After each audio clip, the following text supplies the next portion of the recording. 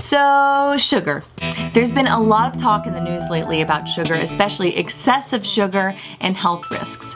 So why would something like that be something that our body craves? Why we crave sugar. So here's what we know. Sugar is sweet, and that sweetness tastes good. It is good. Here's a little fun fact. Cats cannot taste sugar, but we can. Now, biologically speaking, when we eat something sugary, it stimulates an area of our brain called the nucleus accumbens, also known as the pleasure center of our brain. Here's how it works. You eat sugar. That sugar is metabolized by your body and then it feeds your brain.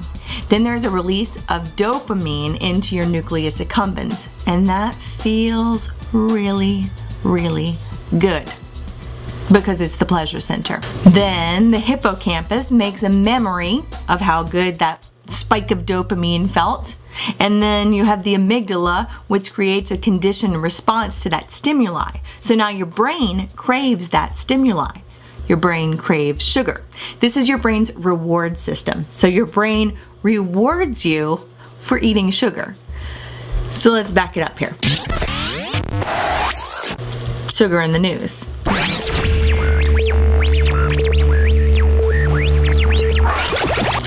Why would something that is potentially so bad for us in large amounts be something that we crave, that our brain craves?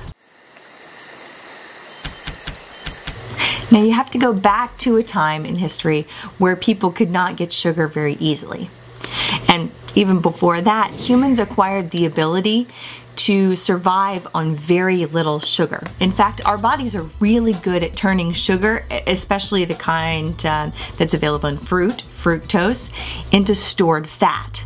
And in a time when sugar was not very easily available, that made a lot of sense for survival for your brain to crave that sugar. Because your brain craves the sugar and then you get it and then you have stored fat, you can make it through the winter, you survive. So that craving helped people survive. But then you cut to now. When sugar is readily available, it's everywhere. So now our bodies that require very little sugar could be flooded with sugar on a regular basis. That's why we crave sugar. If you're interested in learning more about sugar, there's a really great article in the August 2013 National Geographic entitled Sugar, Why We Can't Resist It. And I'd like to give a little shout out and thank you to Pearson OLE for partnering with us to make these videos. And if you're an educator, you should check them out, Online Learning Exchange.